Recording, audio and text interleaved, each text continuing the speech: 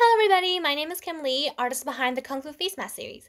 I made the series as a response to the growing racism against Asians due to the coronavirus, and Art in Time of Quarantine has sent me a few questions to answer about my work. So let's get started. Explain your work about the mask and the symbolism behind the mask.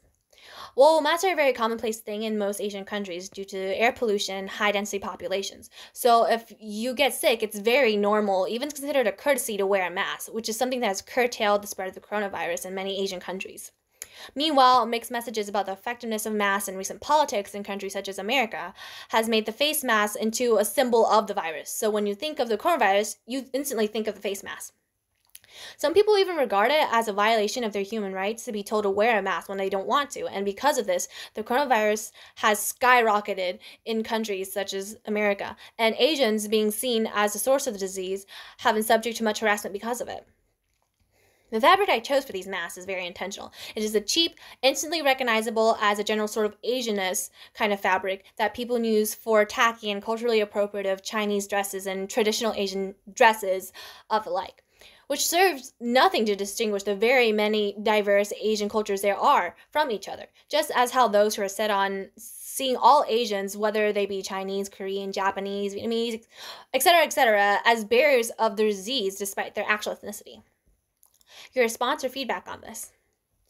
Well, honestly, it was quite emotionally taxing to read all the articles about all the horrible things said and all the harassment that people like me could face and have faced to find specific phrases for these masks. Like I thought it would be you know something to ease my heart a little to turn such vile words into something beautiful and maybe raise awareness about anti-asian racism along the way which i do believe it has done but embarking on such a huge labor of love as embroidery is, it is a very taxing hobby and craft. Writing such a vile speech in that form, it's coming from people who couldn't care less about people like me and my friends, my family. So sadly, doing that just wasn't as cathartic as I hoped it would be. How has this experience helped you manage stereotyping yourself? Well, COVID had made it abundantly clear how insidious anti-Asian rhetoric is and how little jokes and microaggressions such as Asians all look the same, Asians eat cats, dogs, bats, snakes, whatever, whatever, how that can culminate so quickly into blatant racism in dire times. I've been subject to such comments and microaggressions long before this disease has even existed.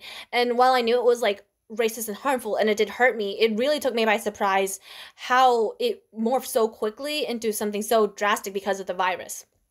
It truly shows how harmless jokes actually progress so rapidly into outright outright harassment and violence when it's left unchecked. And many people still don't take anti-asian rhetoric seriously as racism.